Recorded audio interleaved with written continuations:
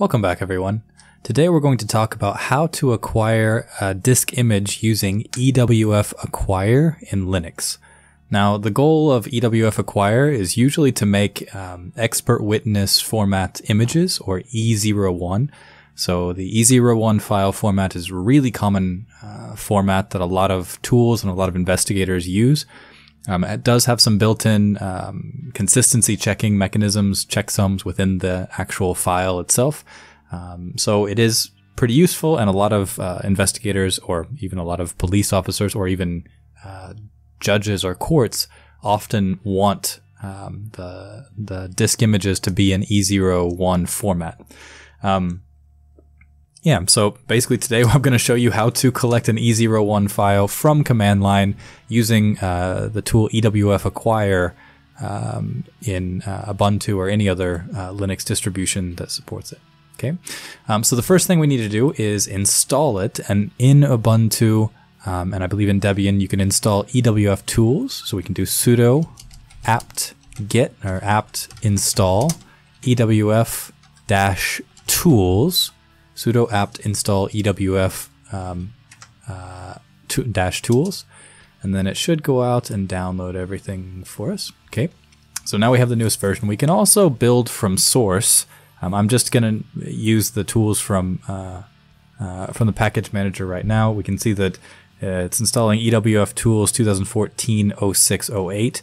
Um, I'm sure that there's actually a newer version, um, but I'm just going to show you from the uh, uh, repository right now because it's fairly easy, fairly straightforward to do.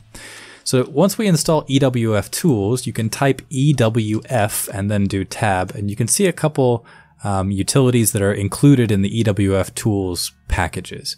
So EWF Acquire is um, what we're going to focus on today. EWF Acquire Stream is pretty much what it sounds like. You can uh, make a stream and send it to EWF, EWF Acquire Stream, and it will um, uh, convert it to whatever format you're trying to save to. EW, EWF debug, EWF export, uh, info, mount. Um, I may also show you how to use at a later date. Um, it's also quite useful. EWF info um, shows you about the disk image. It's also pretty handy.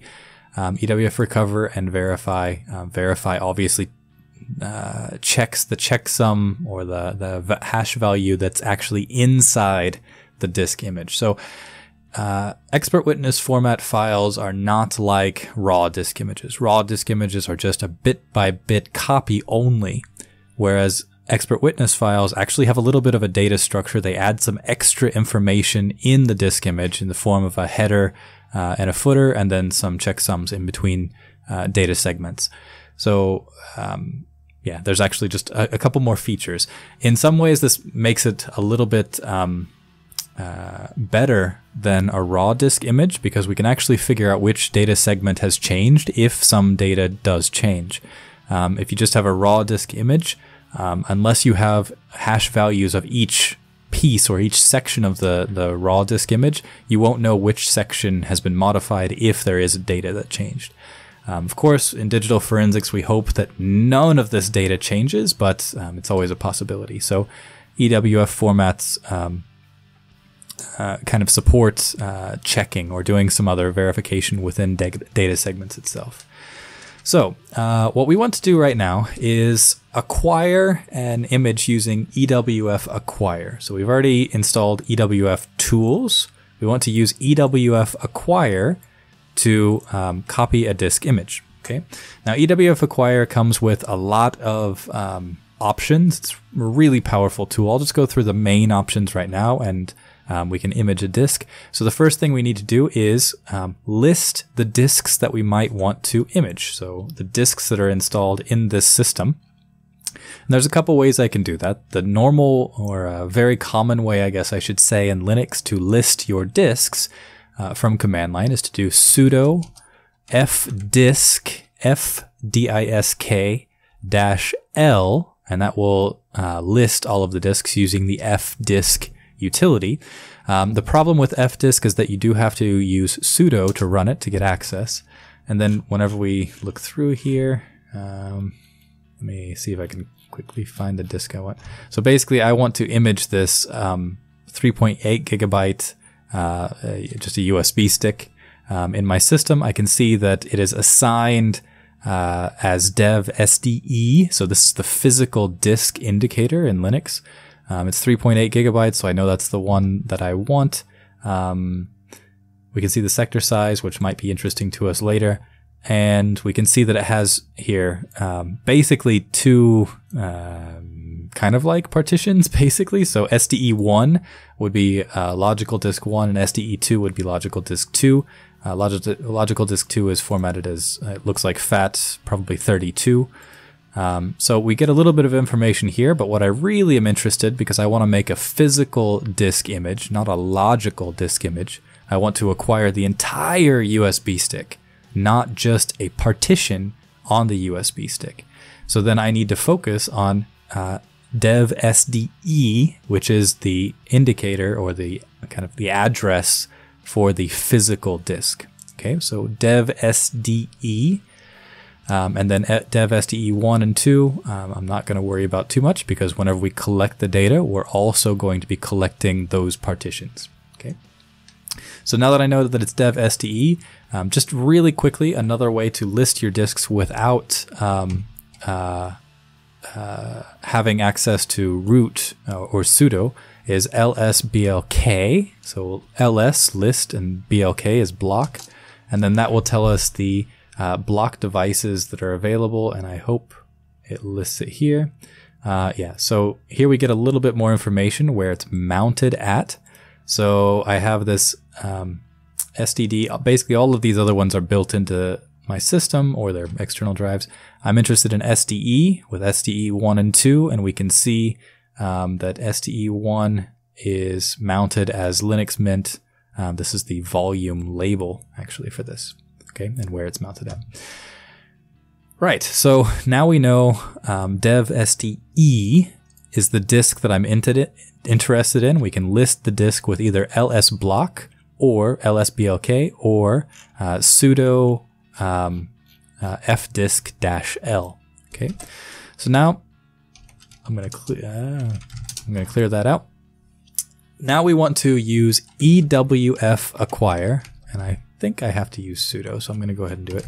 sudo ewf ac ewf acquire sudo ewf acquire and then I want to give it the device that I want to image. Now, if I just do sudo ewf acquire, it will give me a long list of all of the options uh, that I can put in uh, with ewf acquire, and um, this makes the tool really flexible, basically.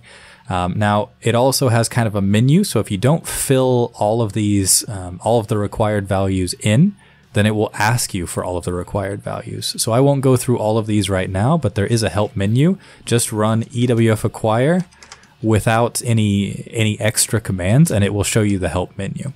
Okay, but for now we're going to do uh, sudo ewf acquire, and I'm going to give it slash dev slash sde. Now this is the disk that I want to image. This is our target disk. So dev sde.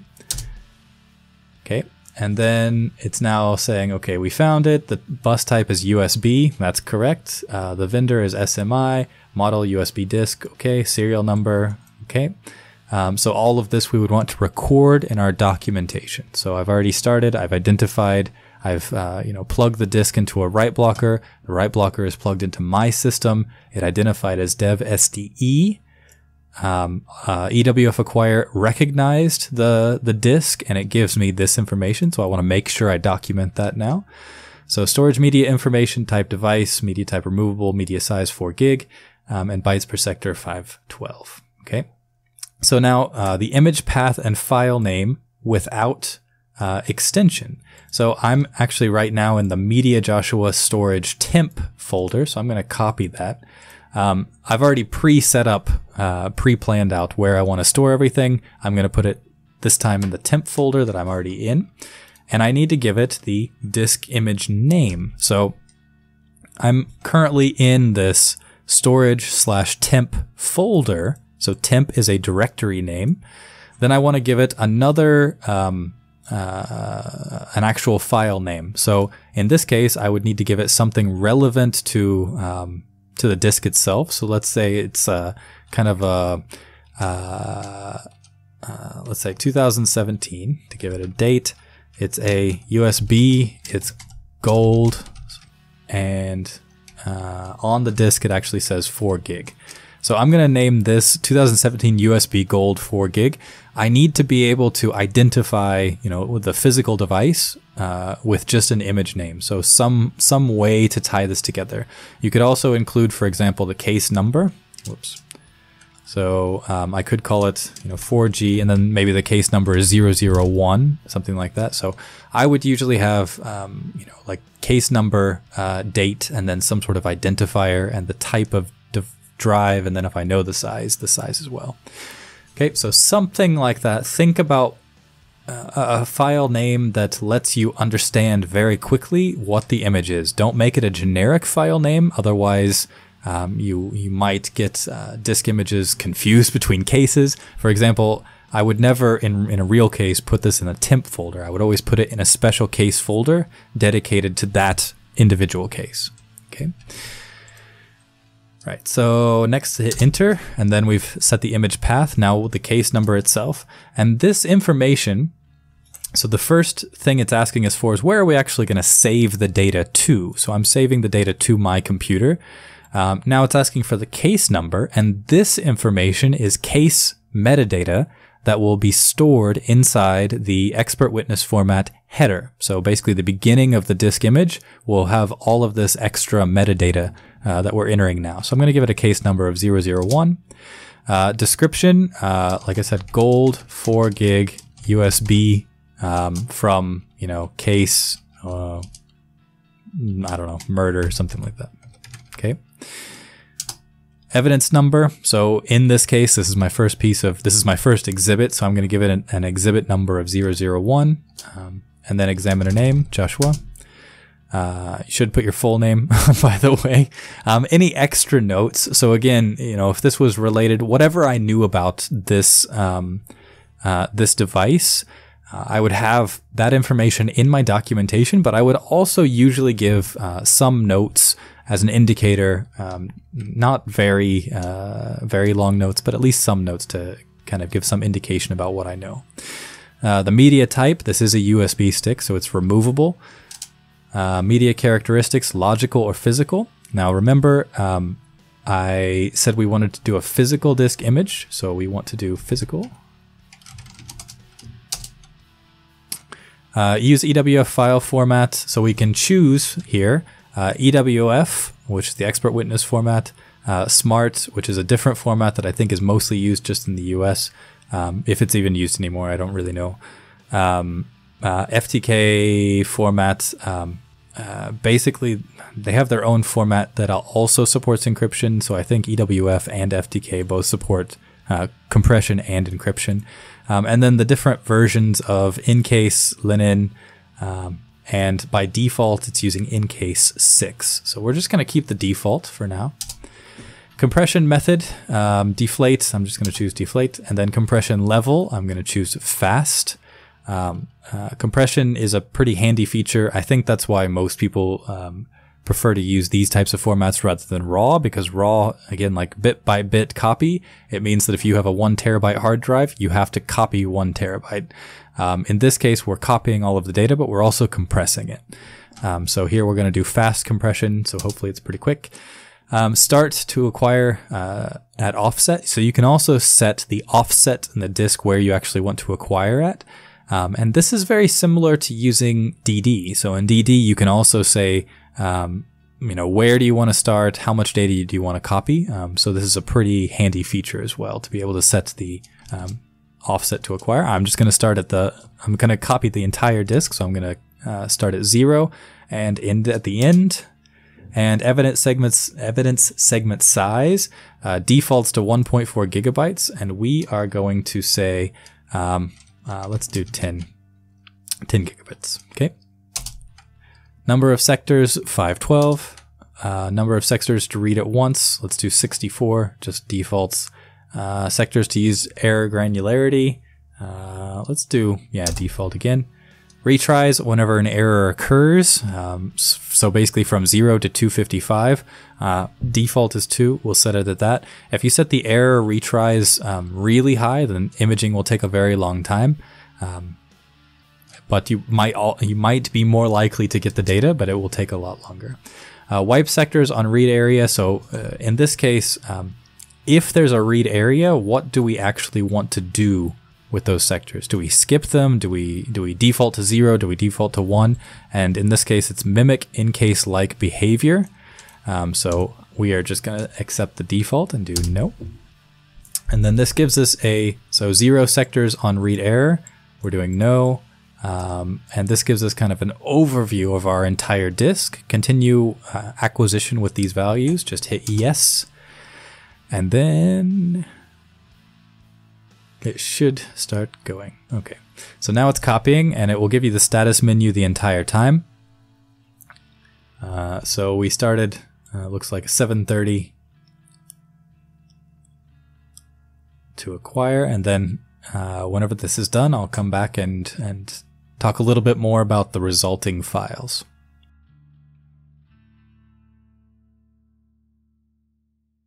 Okay, so now that the data is finished copying, we can see that we got um, all of the all of the data, how long it took, um, the, the, average copy rate, um, and then MD5 hash calculated over all of the data, um, uh, which will be stored in the expert witness format uh, footer. Um, if we look, let me get the uh, data here real quickly. If we look, we have a uh, single image because uh, I set the split size to be 10 gigabytes, and this was only a 4 gigabyte um, image. Um, so now we have a 4 gigabyte E01 image or expert witness format image that we can load up into basically any forensic tool because most forensic tools support uh, the expert witness format. So um, it's pretty easy to use EWF acquire to um, to analyze the or uh, sorry to collect the data. Um, just while we're here, uh, we will also use EWF. Uh, so in the folder, I have the image that I've just collected. I'm going to use EWF verify uh, against the disk image. Um, let's let's run it with without any commands first. So it also has um, uh, basically the same or some uh, extra options you can use. I'm just going to take the defaults because it's just going to treat it like a, a normal E01 image. Um, so let's do EWF verify. I probably have to be sudo. I have to be sudo because the um, uh, I don't have access to the image because I copied it as sudo. So the first thing I need to do is probably change the um, uh, permissions on the file, but we can do sudo, ewf verify and then the image file that we just copied. Hit enter and then now it's going through and um, uh, rehashing everything. So it takes the hash value from the uh, footer, um, it hashes every all of the data again, and then compares it, and we get a success. Okay, so that's how to use EWF acquire and EWF verify from Linux command line. Thank you very much. If you like this video, please subscribe for more.